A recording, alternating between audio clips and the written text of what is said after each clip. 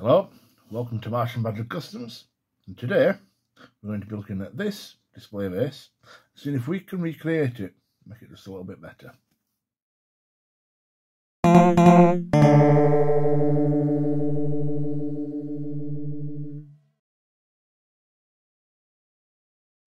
Many moons ago, back in the early 2000s, companies like NECA and McFarlane Toys used to package tiny little display bases with their action figures, say figures or like statuettes.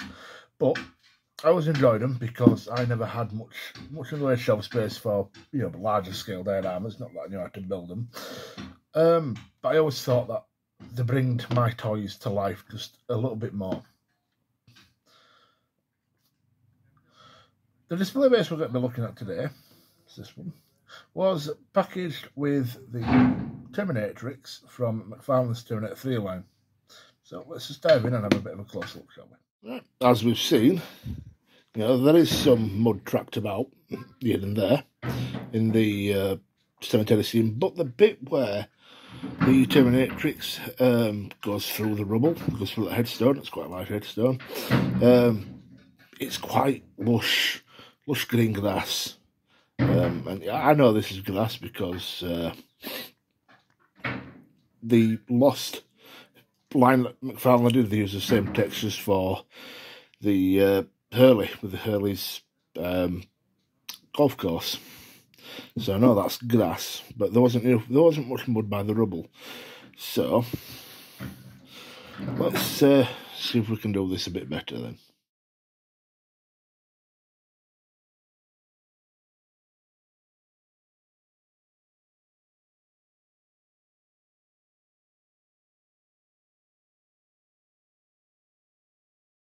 The base is a nice, nice round shape. A lot of colour to it. There's some green and some brown, which indicates mud. We've got these little uh, stony bits here. My guess is that they were trying to recreate um, a section from the cemetery scene after she goes through the um, headstone. Um, but let's just have a look at that scene and go from there, shall we? We're going to start out with some XPS foam. This is um, 5 mil size. I'm going to put that on top and simply, on my hand, just trace on the base. It's easy as that.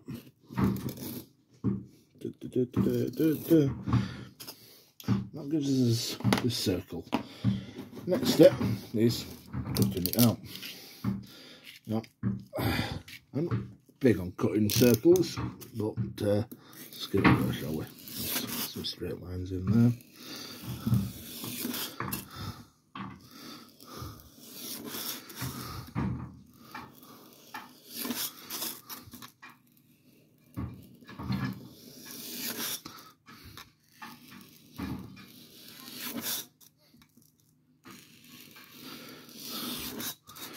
nearly done.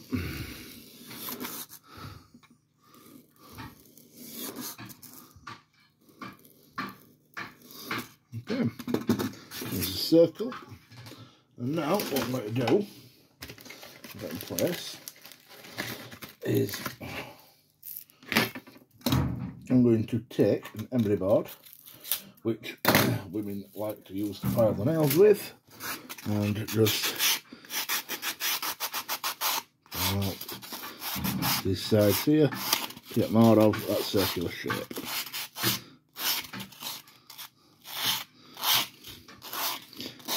Yeah, it's looking pretty okay to me. There we go.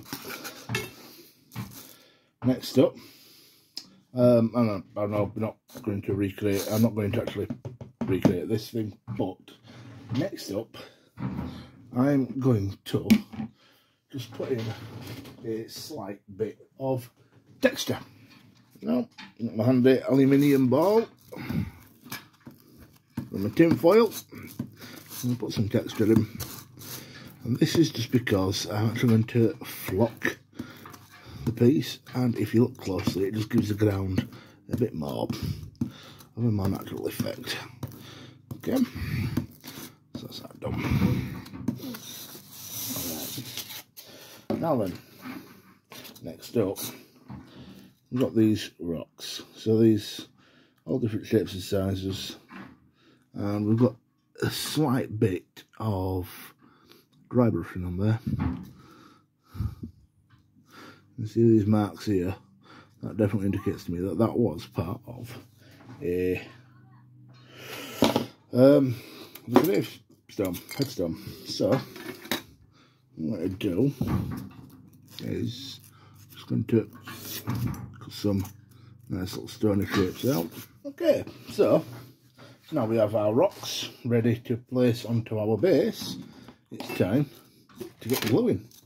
Now what I'm going to be using is a hot glue gun and that'll be that. no what actually? That. And then we'll be base coating with the Black Magic Craft mix, which I always use, which is simply a Mod Podge and acrylic paint mixed together. Okay, just wait for this glue gun to heat up. The glue gun is ready, so let's get started, shall we? So, bit on there, and let's uh, just pull this up a bit, about there. Now this one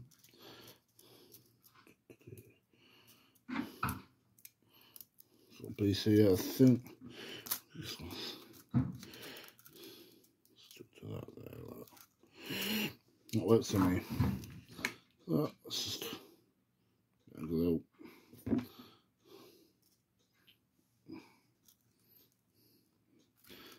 there. Looks good. And then keep going. Bit of rubble there.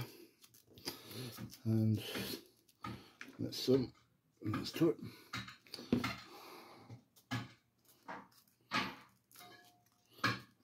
About there. This little piece here. And stick that on top there.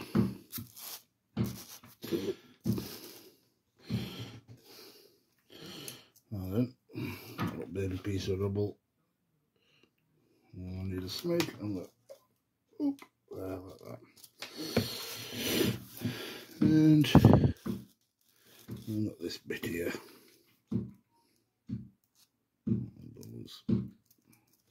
Yeah, that's good to me. Stick it in the back there, just like that. It should hold in place. That's all in place and doing fine. Our next step is to base coat, which is easy enough, as I've said. Black Magic Craft mix, so in Mod Podge and your black paint. Mixing. And got the tops to do here. Mm -hmm. Bloody wispy bits of glue, hate them. Anyway. So on the downside to using hot glue those wispy bits. So darker bit there.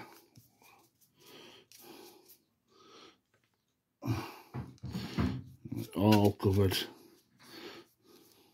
This will also help little bits here, which uh, didn't get too much glue on them because of the size.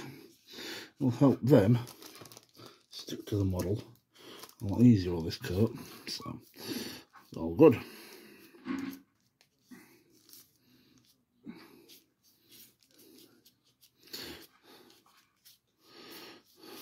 There we go.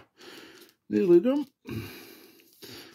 Yeah, whenever you're doing this, always use a sheet like baking paper and non-stick uh, non-stick paper, greaseproof paper.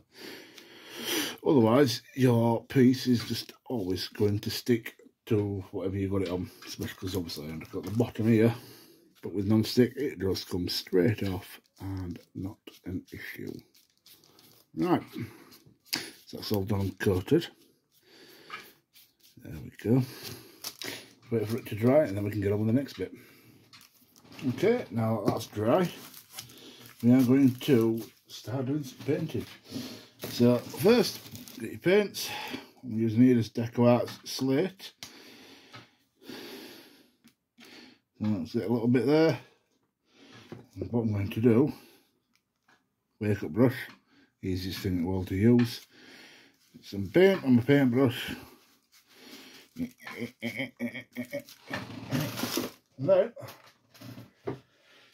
a bit of tissue paper and get rid of some of the excess. Now then, what to do here is just paint that on the rock.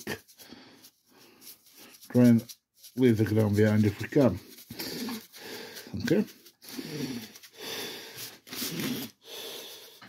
Get as much on it on the stone as possible. I'm going to get on the ground though, but don't worry about that. We're going to cover that in a bit. Okay. So following that, I'm going to get some storm cloud grey. So still only need just a little bit, maybe even less than before.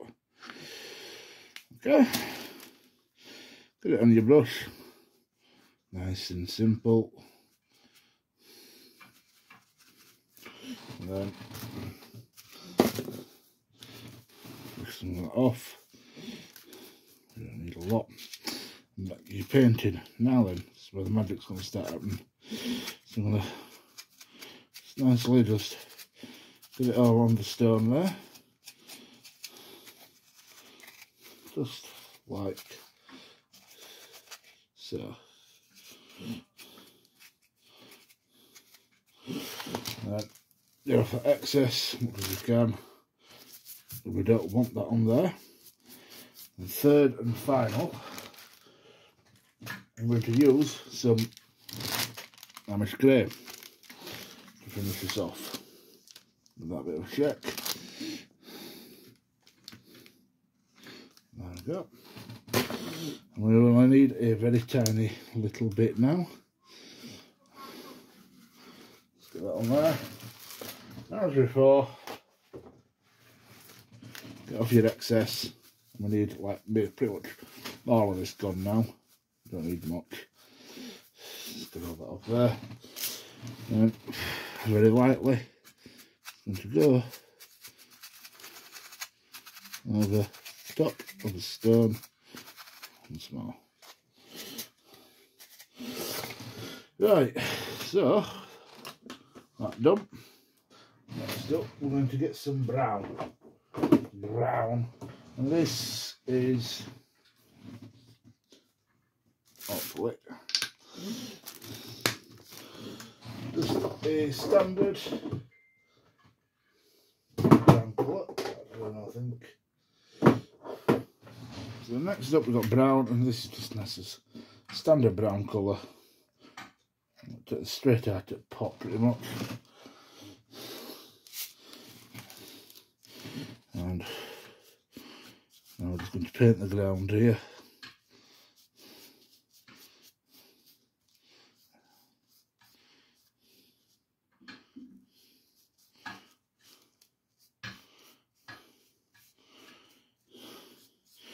Just want full coverage.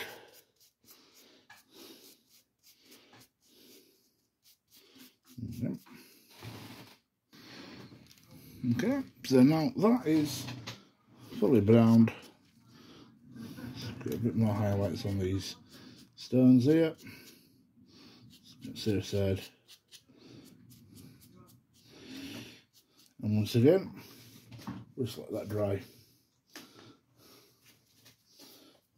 Okay, so now that that's dry, we'll go for final layering now.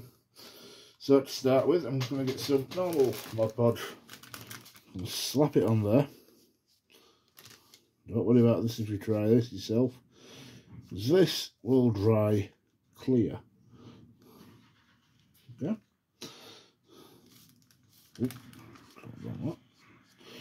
Like I said, it will dry clear, so not a big whoopsie.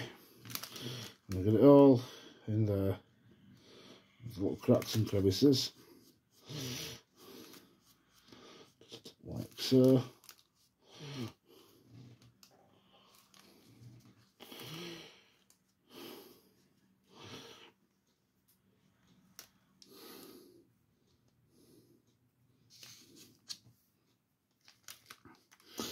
Full coverage of this brown base, basically. So, just a little lot.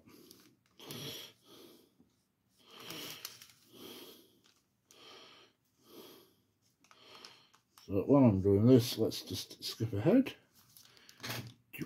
Okay, so we've skipped on and our base is now Mod Podged. So final section is flock.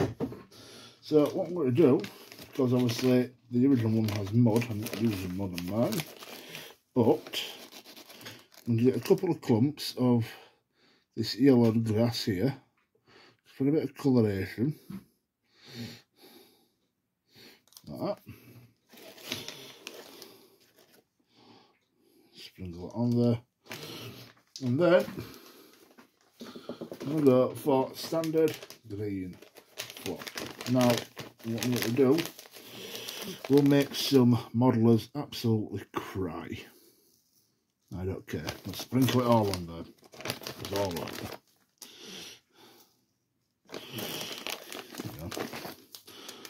I don't bother with things like um, applicators. Sprinkle it all on and all gets done. and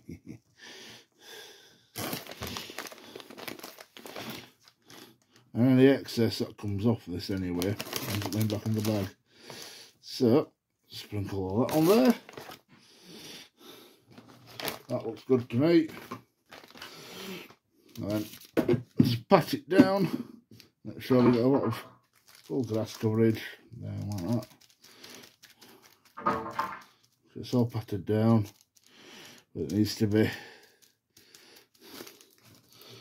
And then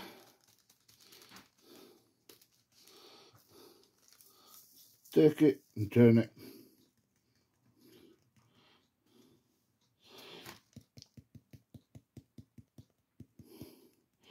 there we go. Doesn't look like much now, but give it a couple of hours when it's dry, and it'll look absolutely fantastic. So let's do that, and I'll see you in a bit.